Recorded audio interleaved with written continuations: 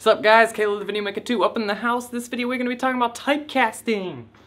So in the previous video I mentioned how C was a strongly typed language. The reason I taught you all of that was primarily so you would understand the content in this video.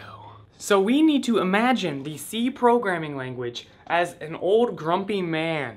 You owe this man a dollar. So you go up to him and you're like, hey man, I finally got your money here you go, here's four quarters. And four quarters are going to add up to be one dollar. But the problem is, you didn't borrow four quarters from this old man, you borrowed a dollar bill. So he was expecting a dollar bill. And this, my friend, is unacceptable. So he beats you over your head with his cane and says, Yo, bro, give me my money, even though you gave him the correct amount of money. You're probably wondering what this has to do with anything, but it'll start to make sense in just a minute. Essentially, he wanted one dollar, but you gave him one dollar. And it seems like the same thing, but if you think about it, the data types behind these numbers are different. This is considered an integer, and this over here is considered a double. So to fix this problem, you can go over to the bank and exchange your quarters for a dollar. So you hand your quarters in and out comes a dollar. Now that you've got an actual dollar bill, you can go back, give it to the old man, and he's happy. In computer science terms, you could say that your dollar was typecasted to a dollar, and this one being of a double data type to an integer data type. You probably could have gone without the story, but the moral of the story is that C is very picky when it comes to data types, so we often need to typecast things. There are two main categories of typecasting, implicit and explicit. When it comes to implicit typecasting, this is something that can happen automatically. We don't have to tell the computer to do anything, and you can think of the result as being lossless.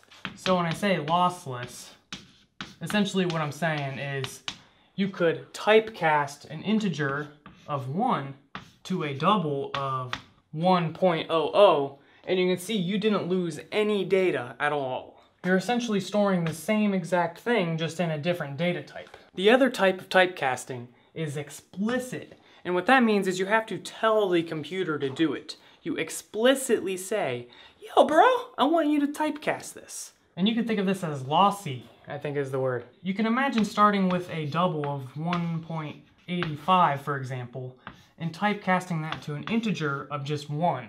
And you can see you've actually lost some data. That's why it's explicit. You have to tell the computer.